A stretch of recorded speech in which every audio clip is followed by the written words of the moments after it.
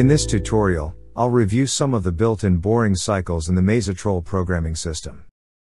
Start by navigating to the program page.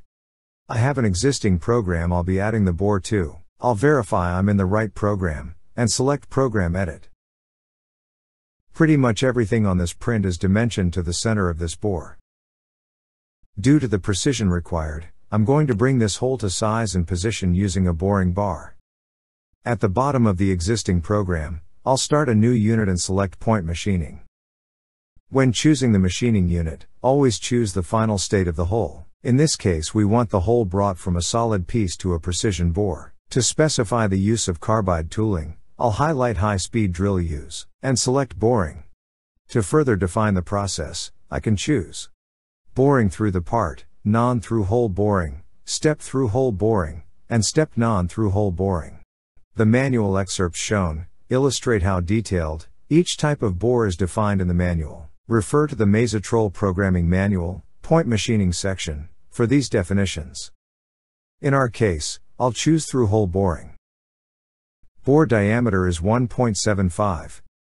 I'll set the bore depth to 0.35. And I want a 20 thousandths chamfer. Wall roughness tells the control how many tools to use in the process development. This manual excerpt shows how this works, and can be found in your Mazatrol programming manual. For my purposes, I'll go mid-range to a 4. As you can see, the control has called for four different tools to build this hole. This selection of tools will work fine, but I'll modify it a bit. For the drill, I have a 1 inch insert drill in tool data. I'll go to the tool data window and select it, replacing the 1.51 drill. Hole diameter will be 1 inch. Hole depth, I'll take a little deeper to 0.45 inches. I'll reduce feed rate at 0.25 inches from the bottom to break through cleanly at the bottom of the hole. And I'll reduce my feed to 35% at that point. I'll use a standard drilling cycle, and set my peck depth to 1 inch. By setting my peck depth to greater than the hole depth, the drill will never peck. I'll set SFM and feed rate with insert auto and set through tool coolant on with an M51. I'm going to replace the step boring bar with an end mill to interpolate the hole larger. I'll highlight the first boring bar, and choose end mill. Going to the tool data window, I'll select my 0.5C end mill, and click OK. For the hole diameter, I'll set 1.73 inches. I like the given depth of 0.39. The existing prepared hole is 1 inch. For cutting direction, I'll choose counterclockwise for climb milling. I'll set a 3 for finish allowance, and set my width of cut to 0.125 inches. I'll select auto set for my SFM and feed rate. That's a little slow, so I'll bump up my SFM a bit. And I'll turn M51 off, and M8 on for flood coolant. For the final boring bar, I'll use the 1.75 I have in tool data. Hole diameter and depth look good. The control has chosen boring cycle 1 by default. This cycle bores to the bottom, orients the spindle, backs the tool away from the side of the bore, then retracts. This is a perfectly good cycle, but the boring bar has to be aligned to the axis perfectly to use it. By default, the boring bar would back off in the Y positive direction.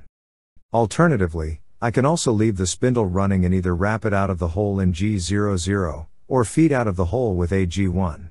The other three cycles shown are the same but allow for a pecking depth to work into a deep hole gradually. I'm going to change to cycle 3 which will leave the spindle running, and feed out. Top surface to feed start point is for offset tip boring bars. Entering a value here will cause the measured point of the boring bar to plunge further into the bore and rapid, before starting to feed. Normally, a boring bar starts to feed at the R plane above a hole, in this case the R plane is 0.1 inch. If I enter 0.2 here, the boring bar would rapid into the bore 0.1 inch, which is the new R plane, then start the feed through the bore. My boring bar cutting tip is at the tip of the bar, so no offset is needed. Bottom face roughness has different meaning for different boring cycles. In general, setting a roughness of 0 implies no finish on the bottom surfaces and the cycle is simply down and out. With different values, movement at the bottom of the bore is handled differently. These manual excerpts illustrate some of the possible movements. See the Mazatrol programming manual for more details. Width of cut can affect feed rate calculation. I'll just leave the default. I'll use Carbide Auto for SFM and feed rate. And make sure coolant is on with an M8. For the chamfering tool, I'll use the tool data window to select my 1 inch chamfer tool. Tool diameter interference is used in conjunction with prepared hole depth. When calculating the depth the chamfer tool is positioned to when chamfering the hole. If there is an interfering surface near the OD of the hole, enter its position here as a diameter value.